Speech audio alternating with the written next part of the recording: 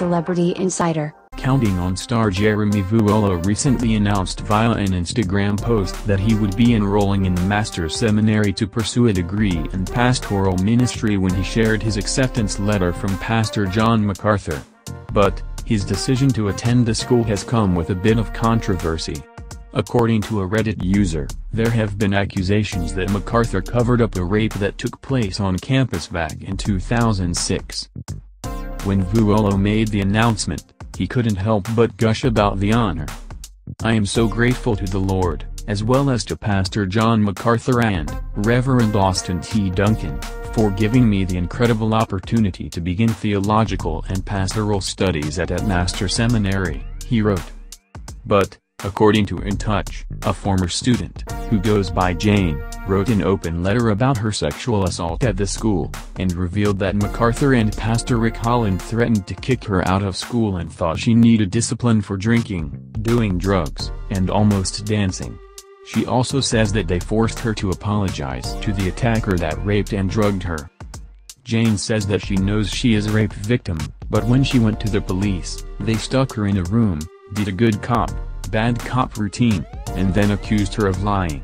She says that is not how you treat a rape victim, and she is now studying to become a rape counselor and knows that the cops did the opposite of what they should have. She also wrote that when she returned to campus and told her resident director about what happened, they told her that she broke the rules of her signed contract that promised no drugs or drinking. Jane says that Holland was angry at her for going to the police and the doctor, and she should have instead allowed the church to handle the situation without outside interference. He then told her not to tell anyone else, including her classmates, teachers, or anyone in the church. Later, Holland accused Jane of ruining the young man's life. She says her attacker eventually confessed to his sin, but they still asked her to apologize for the dress she wore at the bar. Holland said that Jane caused the young man to stumble and was angry because she didn't drop the charges.